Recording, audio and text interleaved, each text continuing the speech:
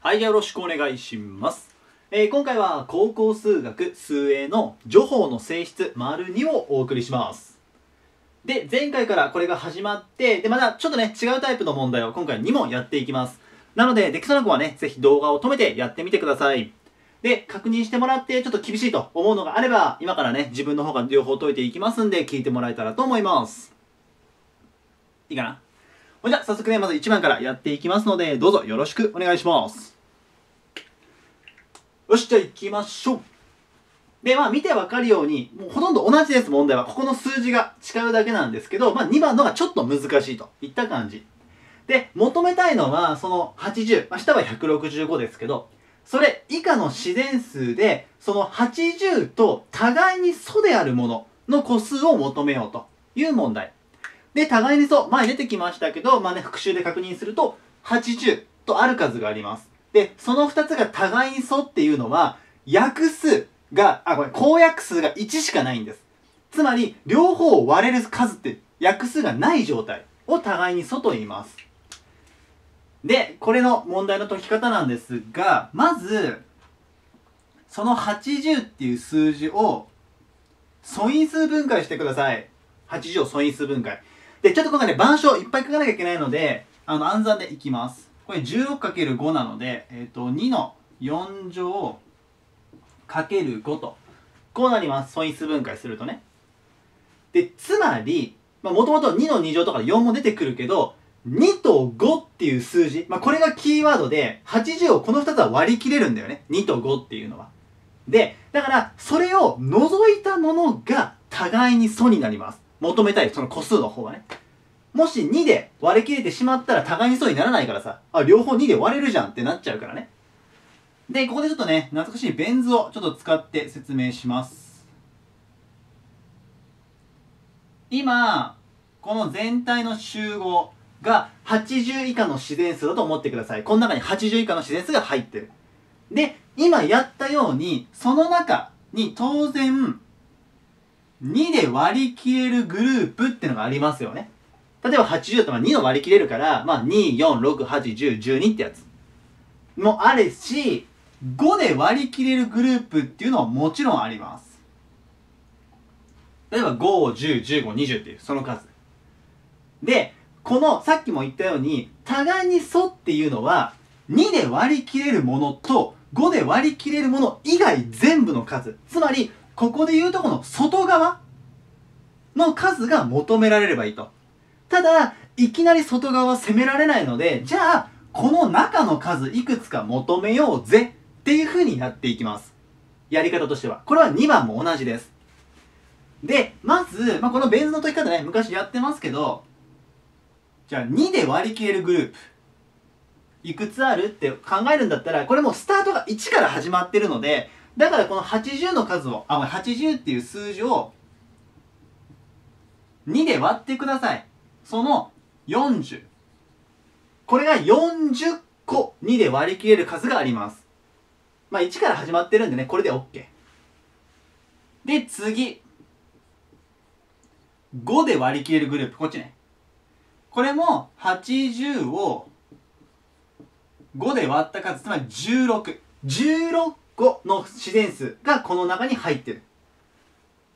ただ気をつけなきゃいけないのが、これ2と5、ベン図書いた時のここが出てくるんだよね。2つ被ってるところ。で、2つ被ってるところっていうのは、2でも割り切れるし、5でも割り切れる。つまり10で割れる数のことを言ってるので、一応こういう書き方するね。2×5、10で割れる数は、80割る10。つまり、8個あります。この3つのパーツが分かることによって、今、ここ全体の数を求めることができると。で、どう求めるかっていうと、2で割り切れるグループ、プラス5で割り切れるグループ16を足すんだけど、この最初に引いたこの真ん中のこの部分、これ2回足しちゃってるんで、1回分引かなきゃいけないんだよね。で、その1回分引くために8を出した。だから8を引きます。かぶってるから、真ん中がね。で、これを計算すると48。で、ここまでで結構計算してるんでやりきった感が出るんだけど、これ答えじゃなくって、話を戻すと、外側の数だから。互いに素っていうのはね。だから、全部で80個の自然数を考えてるので、つまり、80から、今求めた中身がね、ここが48個って分かったので、求めたい数は32個でしたよと。これで終了になります。こんな感じで解いてみてください。で、2番、165ですね。ちょっと、最初ね、ピントが合ってないかもなんで、少しいじりますね。で、申し訳ない。よし。で、2番いきましょう。で、今度165なので、まあ、同じようにやっていきます。これちょっと暗算きついかな。165、えー、っと、3でやると55、3、5、11か。だから素数分解すると 3×5×11 になります。で、何がめんどくさいってこれね、3つパーツがあるとちょっとめんどくさいんです。なぜならこのパーツも増えちゃうんで。で、こっちもね、一応ベン図を書いておきましょう。ちょっと大きめにしようか。あ、もう落ちた。で、全体集合今回165以下なんで165個入ってます。自然数がね。で、まず、3で割り切れるグループがあります。で、5で割り切れるグループがあって、11で割り切れるグループがあると。で、さっきと同じように、この中を求めて100ごめん165から引くっていうやり方で攻めていきます。で、求めていくね、さっきと同じように求めていくと、まず3で割り切れる数だね。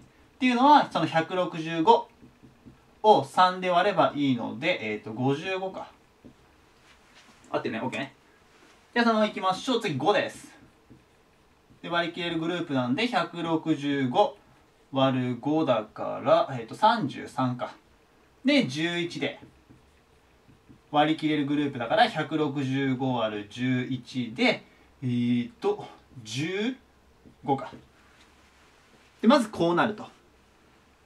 で、さっきと違って何がめんどくさいかっていうと、まあ、さっきもね、被った部分をね、引くために出しましたけど、3と5の被った部分、3と11の被った部分、5と11の被った部分を全部出します。で、最後に3、5、11が被ってる。ここも出す真ん中も。これがベン図でね、解く時のやり方になってしまうので、ちょっと数が多いんだよね、ただ単に。でもね、それをやれば確実に取れるんですけど、じゃあ行きましょうか。ちょこっち行こうか。まずじゃあ 3×5 から行こうか。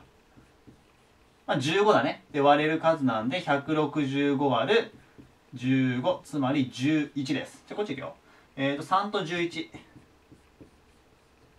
いくと、えっ、ー、と、165割る33なので、えっ、ー、と、5。で、えっ、と、今度5と11だね。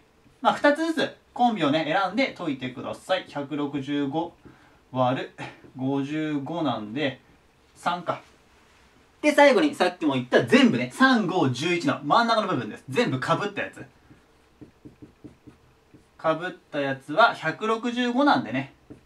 165割る165で1と。まあ、1個入ってるよっていう。